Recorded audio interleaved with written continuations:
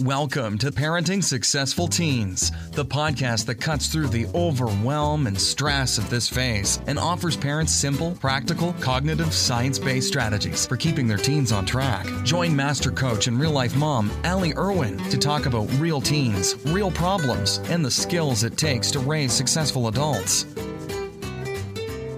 About five years ago, there was an incident with a family member Actually, it wasn't a single incident, it was a series of incidences, and they were bad.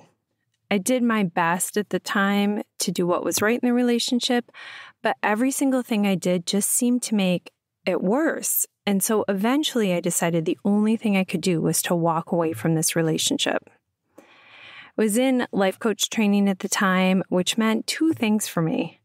One, I had a ton of practice coaching on this issue and being coached on this issue because I was in training, like from a huge variety of sources and styles master coaches, newbie coaches, coaches that tried all kinds of different things.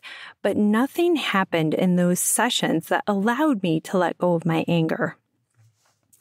The second thing that happened is that I felt kind of extra terrible. I felt bad. Like, how could I be a good life coach if I couldn't get over this? How would I ever help my clients get over hard things in their life? But really, what I found out is that the biggest piece of being a good coach is being willing to see your own mind, to see what you're thinking and how you feel about what you're thinking. And I got tons and tons of practice at that. And the truth was, I just wasn't ready to forgive. And it became a source of compassion and connection with my clients who had their own hard things in their life that they weren't ready to forgive. Ex wives who were stealing from them, ex husbands who sent their kids home from the weekends, like all hopped up after a weekend of sugar and no rules parents who were struggling with their relationship with their own parents and their own feelings about things that happened in their childhood unreasonable bosses, unreasonable coworkers. Many of us have things in our lives that we are struggling to forgive. And the catchy quotes that come from even very good sources like Buddha and Tolstoy and Martin Luther King they don't really help us that much. They say things like, forgiveness is the gift you give yourself. And while that's true, it did not feel like a gift. It felt like I would be letting him off the hook and putting myself in harm's way. Or another quote that's quite famous is Forgive others not because they deserve forgiveness, but because you deserve peace. Let no man pull you low enough to hate him. That's Martin Luther King. I was like, great, now I'm low because of what he did, and I'll never have peace in my heart. Fabulous. so, inherent in those quotes was a reminder of how much hurt I was experiencing and how much hurt I was going to continue experiencing if I didn't forgive. So, let me tell you what did help. The first thing is don't pressure yourself to forgive too quickly. Like I said, I felt so much pressure from culture at large, other family members, from like the good advice that I read on coffee mugs. is I felt a lot of pressure that it was on me to forgive and reminders that if I didn't forgive quickly, that I would just be prolonging the hurt. Okay, so I want to debunk that right away. If forgiveness is the gift you give yourself, then you have a choice when you're going to take that gift. And it took me years to forgive this person. And I want to be clear, I didn't stay mad the whole time. I just stayed present to where I was at in the process and accepted my very real feelings about the situation.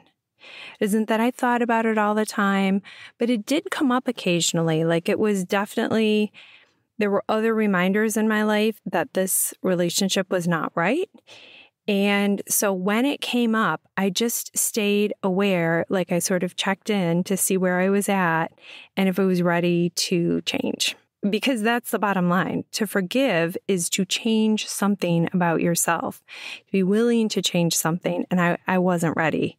Even though I cognitively understood that my anger was hurting me, another part of my brain felt like that anger was protecting me from getting hurt again. And even though I knew that wasn't true, I still, part of me believed it.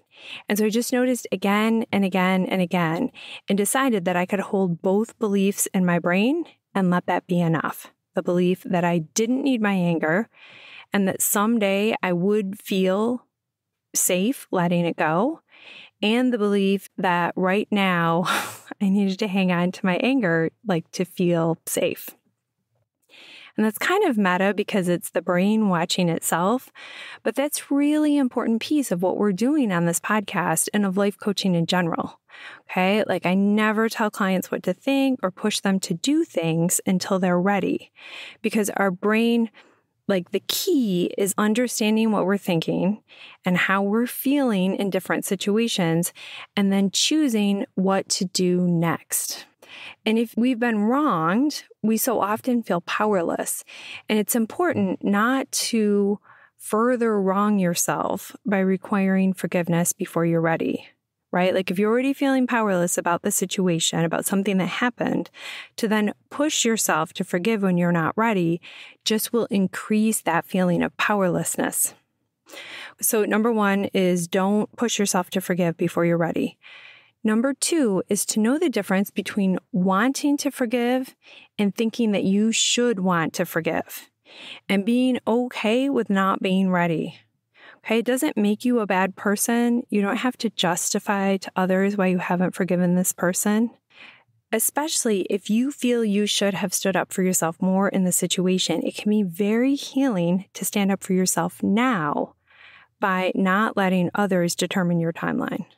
And going back to my situation, as long as I believed that I needed this anger to protect me from getting hurt, then to force myself to give up that anger would have felt like I was saying I wasn't worth protecting or that I couldn't count on myself to protect myself, which would have made the anger like it would have made me need the anger even more. Okay, it would have made the whole thing take even longer.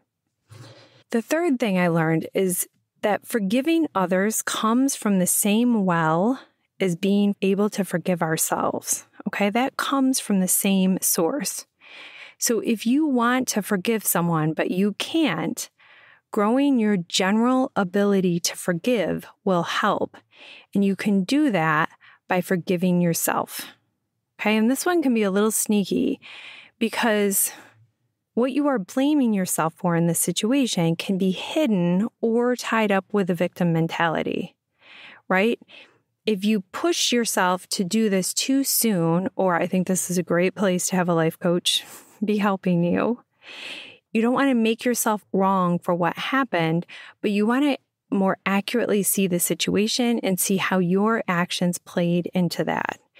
Because in most situations, you did play some part that you wished you hadn't played.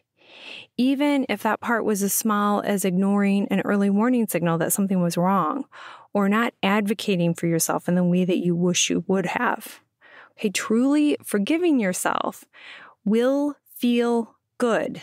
It's worth going through and figuring out which parts you had a hand in. Because when you're able to truly forgive yourself, it feels like setting down a really heavy weight. Like if you walked into the house with like a whole bunch of heavy groceries and someone helped you by taking those out of your arms and helping you set those down. And for me, the thought that helped me forgive myself was truly believing that I did the best I could at the time and that I did what I did for reasons that I could feel really good about. Those were the two thoughts that I used quite a bit. The next thing that helped me was being open to the intermediary steps of forgiveness. Okay, to look for ways to feel good about the person, even if you're not ready to forgive what happened in that situation or really to look for ways to feel good either about the person or about the situation itself. And for me, that included an appreciation for the good things that came out of that situation that wouldn't have happened if it had gone down differently. Okay, there were parts of that situation that worked out that would not have worked out in the same way if it had gone more like I wanted it to. It doesn't mean that the way I wanted it to go down wasn't right. It just having an appreciation that there were did end up being some good parts that was helpful to me. Second thing is I developed an appreciation for the good parts about this person. That even if we were having a difficult relationship, it didn't mean that this person was terrible. It just meant that for whatever reason, like we really had this struggle. This person did have good parts, and really leaning in and appreciating those gave me like a little bit of wiggle room around my anger. And then eventually I got to a place where I loved this person. And those feelings of love sat right alongside my anger about what happened. If you had asked me like the day, the month, maybe even the year later, I would not have thought that that was possible. But even then, I hadn't totally forgiven them. Until one day I was running on some back roads. We live in Michigan. It was a beautiful day and I was out running in the country. And the Avett Brothers song, No Hard Feelings, came up on my playlist, which is not a regular running song at all. And I'll put a link in the show notes for the song. You'll be like, how could you run to that song? So I don't know. I don't know why the song came up on my playlist, but all of a sudden I had such a flood of emotions and it was gone. I'd forgiven them. I felt it come over me in a wave and it was just totally gone. I'm sure you can hear it in my voice now. We had never talked about this situation, and I doubt that we ever will because I know for sure I don't need to. Like, it's that gone for me. Those beliefs that I've been practicing all these years about how we were all just doing the best we could had finally taken root, and I forgave him. Like I said, that physical sensation for me is like someone had taken a really heavy box out of my arms and helped me set it down. Like this heavy thing that I'd been carrying around that I finally could let go of. And again, I know this is meta, but the person that had helped me set it down was me. I was the one who had gently practiced forgiveness and compassion for myself all of those years. And the me that had spent the countless hours like getting coached on the situation, trying to see it from new angles, and being open to believing that I could be safe without my anger, that's the person that helped me set it down. And that's what I want for you, my friend. Don't forgive until you're ready. If someone had wrestled that heavy box out of my arms before I was ready, we would have both ended up just hurting ourselves. Okay, if I had forced myself to forgive before I was ready, I would have been telling myself that I wasn't worth protecting. It was only until I felt strong enough to protect myself without that anger that I was ready to let that go. So, if you have a situation that you truly want to get past, then know that forgiveness is possible for you and it feels amazing. It really is worth doing the work for, and I'm here to help you. I offer totally free, no pressure sessions where we dive into what happened, what you want to have happen, and how to bridge the difference. You'll walk away from these sessions with a new way of looking at your situation and a clear idea of what to do next. You can grab one of these sessions by texting Talk to Allie to the number 44222, which will prompt you for your email, and then I'll send you a scheduling link. Or you can always go to allieirwin.com and grab a session there. Have a great week, everyone.